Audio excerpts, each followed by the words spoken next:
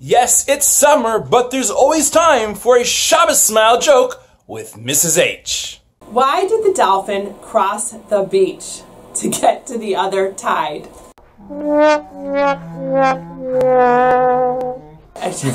You're not talking to me.